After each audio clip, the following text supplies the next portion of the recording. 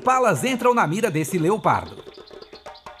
O leopardo é um caçador furtivo e habilidoso, conhecido por sua agilidade e capacidade de se aproximar silenciosamente de suas presas.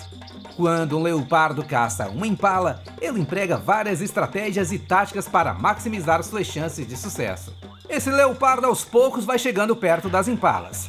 As impalas estão entre as principais presas dos leopardos e muitas vezes os leopardos aproveitam da distração delas para atacar. Quando percebem, o leopardo está quase em cima.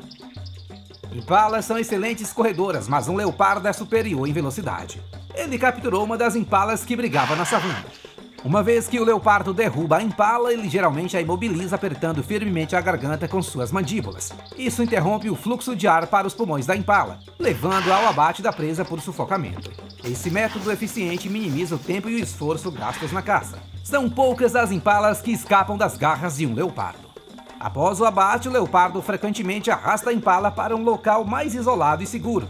Isso evita que outros predadores, como hienas ou leões, roubem sua refeição. Um leopardo arrasta sua presa, mesmo que ela seja pesada.